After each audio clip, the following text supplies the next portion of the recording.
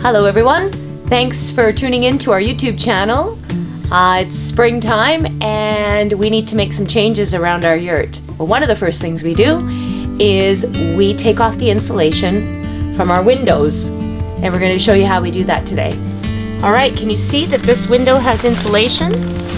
It's uh, an insulation that protects us in the wintertime, but we don't need it now that it's getting warmer. So we're going to take it off and we're going to have more daylight in here.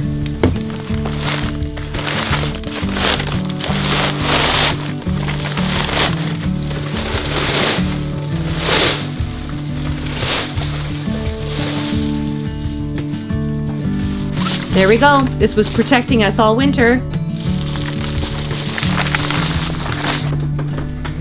Let's go, Tenchi. Let's show them the window from the outside. I'm just gonna bring this water with us. Come on, Tenchi. Come on. Oh, it's a little bit chilly out here. You can see there's still some snow on the ground over here. It's not entirely gone.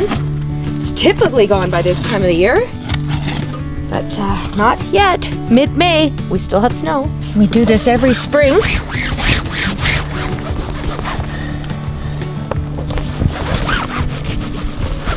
But it's ready for a big bath, this yurt. The system for this yurt, not sure how all yurts work, is you unzip it. Great design, whoever put this together. We're gonna roll it this way, and I'll show you why. So if this was the tree, see how it just falls right off and it doesn't get stuck? So it's really important that you do it this way. And then you roll it up. So we're a little hesitant to put up the windows and take the insulation away because it's been so chilly. It even snowed yesterday, and I think there was some hail today. But we're gonna pray for sun. And this is what you do. You can just tie these up. I'm just gonna make a little bow tie for now. Watch this. When it gets really warm, we can pull this off. And we have some netting to protect us from the bugs. Hello. you can pull this one entirely off. But if you really need to get out of the yurt, you're gonna need an axe if you need to get out of the windows. Because you can't get through the lattice. Unless you could crawl through here. Probably could have done that when I was 12 years old. Not now. All right. Coming in, Tishy?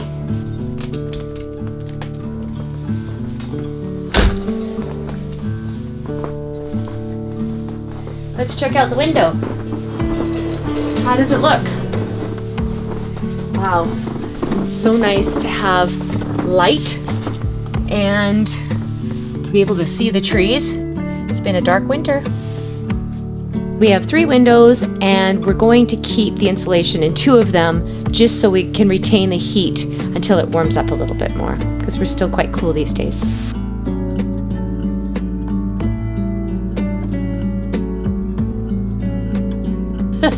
no, Tenchi, we're not going on a trip anywhere. I do have a suitcase here though, and I'll tell you why. Uh, we put in the fall, late fall, when it starts getting really cold, I put all of our light clothing inside the suitcase. Hey? Yeah. and then what I do is I bring out our winter clothing. So I basically rotate it.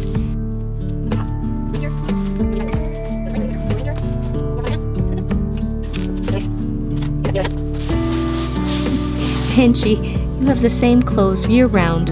A little less fur now that we've brushed you quite a bit lately. Hey, you look beautiful. Tomohiro, do you want any of these out? These are your down pants. Do you need any of this for camping? Uh, not until September. Okay. Yeah, this is a pretty big down vest. You won't need this either. Yeah. Let's hope. All right. Let's close this up.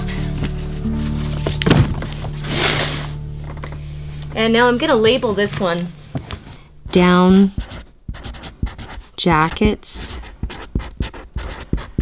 and pants. I'm getting a little teary eyed thinking about spring and what it means to us here in the north.